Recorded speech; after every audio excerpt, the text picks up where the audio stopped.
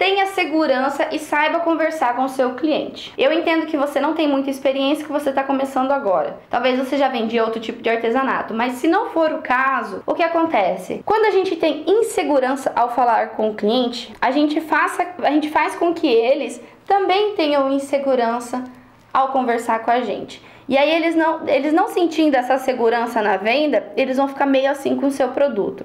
Então não importa se você é muito iniciante, ou se você já é há muito tempo uma biscoiteira, uma artesã, tenta sempre trans, é, transmitir segurança, transmitir carinho, conversar educadamente com o seu cliente, tenta sempre responder eles rápido, é, sempre dê atenção, sem grosseria, porque eu tenho certeza que assim você vai conquistar o seu cliente.